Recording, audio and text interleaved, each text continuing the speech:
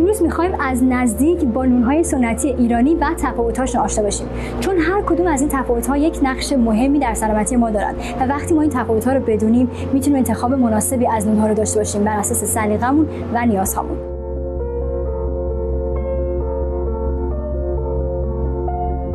نون با کیفیت سنگه که آماده باشه مهمترین چیزش آردشه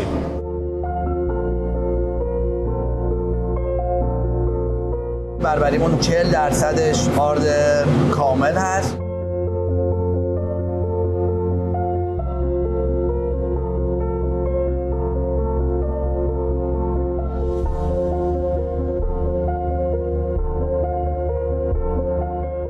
با دونستن دقیق مواد اولیه تهیه این نونها با وجود مشکلات گوارشی، نگرانی از افزایش وزن و بیماری قند می‌تونیم انتخابهای آگاهانه‌تری داشته باشیم. نون که از گروه مواد غذایی کربوهیدرات هست. به عنوان یک منبع انرژی در یک رژیم غذایی متوازن توصیه میشه. ولی اینکه چه مقدار و چه نوع نون مصرف کنیم خیلی مهمه. دو عاملی که باعث تفاوت ارزش غذایی در نونها میشن نوع آرد و مدت زمان تخمیرشون هست. اول از همه بریم با مواد اولیه و مدت زمان تخمیر نون سنگک آشنا باشیم نونی که بین تمام نونهای سنتی ایرانی معمولا انتخاب محبوب متخصصین تغذیه هست. عزیز یک سنگک با کیفیت چه موادی باید داشته باشه؟ والا مهمترین چیز که نون با کیفیت سنگک آماده باشه مهمترین چیزش آردشه آرد یعنی اساسترین چیز واسه هر نونی ولی مخصوصا نون سنگک. تو ما خب حالا دو تا مدل نون سنگک می‌زنیم. یکیش نون سفیده یکیش هم نون هول ویته اون که نون هول ویت 70 درصد 75 درصد تا 80 درصد هول ویت داره که قهوه‌ای تره آرد کامل زده 100 درصد نمی‌تونیم بذاریم چون نون هول ویت سنگک 100 درصد صفر میشه. پس نون سنگکی که سفید باشه حداقل باید 40 درصدش از آرد کامل باشه تا اینکه 40 درصدش آرد هول ویت باشه 60 درصدش آرد سفید باشه.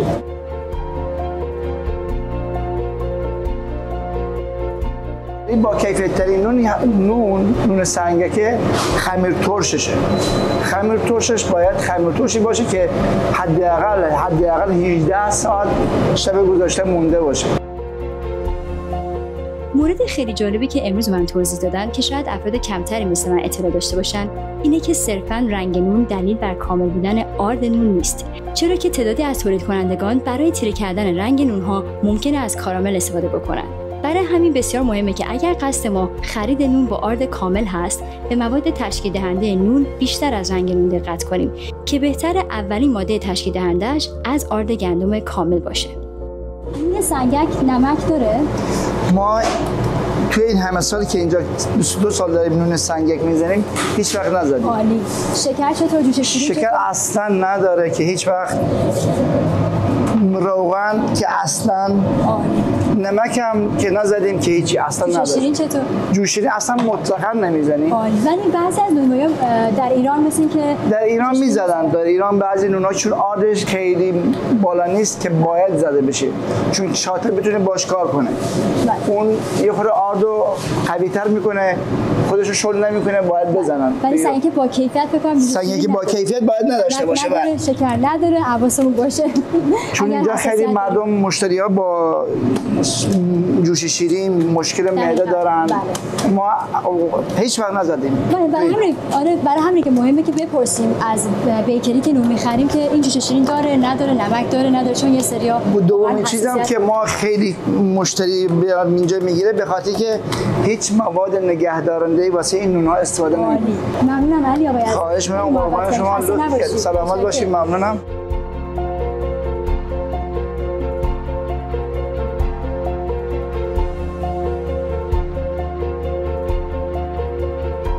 و حالا تفاوت نون لواش با بقیه نونهای سنتی ایرانی چیه؟ کاملا با آرد سفید تهیه میشه و مدت زمان پختش هم خیلی کوتاه هستش. نونهایی که با آرد گندم کامل یا درصد بالایی از آرد گندم کامل تهیه میشن مثل نون سنگک ارزش غذایی بالاتری را نسبت به نونهایی که بیشتر از آرد سفید و بدون سبوس تهیه میشن دارند این نونها چون حاوی فیبر بالایی هستند انتخاب بسیار مفیدی هستند برای افرادی که نیاز به جلوگیری از نوسان قند خون و یا کنترل وزن دارند همچنین مصرف نون با فیبر بالا باعث میشه که حس سیری طولانی مدت کاهش چربی و کلسترول و سلامت دستگاه گوارشی بهتری داشته باشیم. حالا نوبت نون بربریه که انواع محبت می‌کنن به اون میگن که دقیقا از چه موادی درست میشه. چون هر کدوم از اون بربری ها توی بازار متفاوت از همدیگه هستن. ولی نون شما اول شروع می‌کنید که چه موادی داره دقیقا؟ از چه آردایی درست میشه؟ ما آرد سفید معمولی رو می‌زنیم. آرد کامل می‌زنیم با یه درصد مشخص. ولی بربریمون حدوداً تا حدود 40 درصدش آرد کامل هست. الباقیش آرد سفیده مخمر بهش می‌زنیم نمک می‌زنیم و آب. جوش شیرین هم داره؟ نه. برای معمولا؟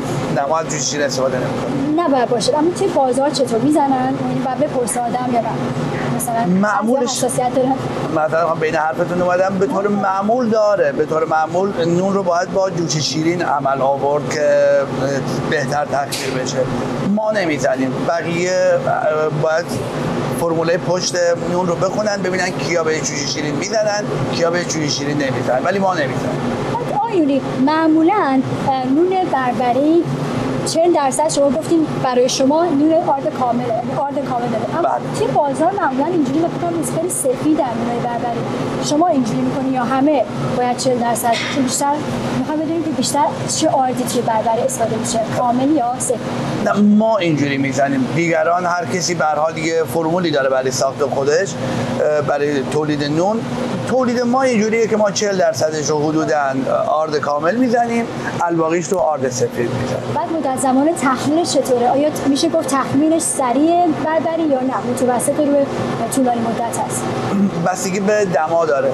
توی دمای بالا که هوا گرمتره حدودا دو, دو ساعت تا دو نیم ساعت تخمین با طول می‌کشه.